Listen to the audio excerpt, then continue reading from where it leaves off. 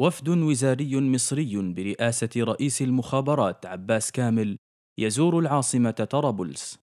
التقى خلالها رئيس الحكومة وعددا من الوزراء لبحث وتفعيل الاتفاقيات المشتركة واستكمال التنسيق في عدد من الملفات بين البلدين، وفق ما أوضحه المكتب الإعلامي لحكومة الوحدة الوطنية.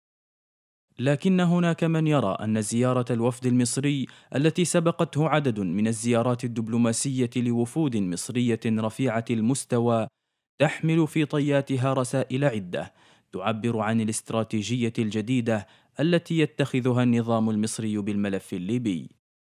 فهناك عدد من التقارير الإعلامية محليا ودوليا تتحدث عن توجس القاهرة من هيمنة دول أخرى داعمة لمجرم الحرب حفتر على المشهد السياسي والعسكري بمناطق سيطرة حفتر دون الرجوع أو الترتيب مع الجانب المصري.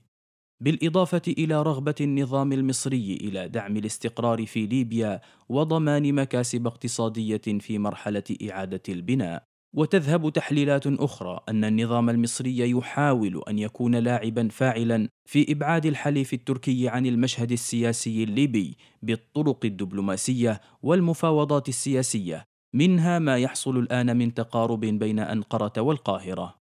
زيارة رئيس المخابرات المصرية عباس كامل للعاصمة أعقبتها زيارة أخرى له مباشرة لمدينة بنغازي ولقاء مجرم الحرب حفتر بمقر إقامته.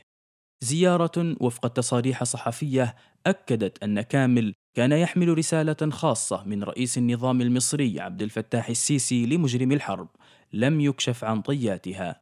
وعقب هذه الزيارة بأربعة وعشرين ساعة أعطى مجرم الحرب حفتر الأمر لميليشياته بالتحرك إلى الجنوب الليبي مصحوبين بالمرتزقة الأجانب سيطرت خلالها على مناطق شاسعة بمحيط مدينة سبها إلى الحدود الجزائرية.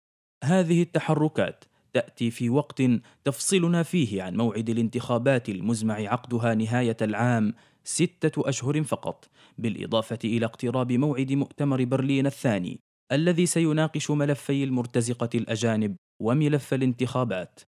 تحركات دبلوماسية وأخرى عسكرية على قدم وساق تفتح الباب لكثير من التساؤلات حول حقيقة الدور المصري بالملف الليبي وتعامله مع السلطة الجديدة ومدى إدراك الحكومة الجديدة لما يحاك للملف الليبي في دهاليز السياسة الدولية.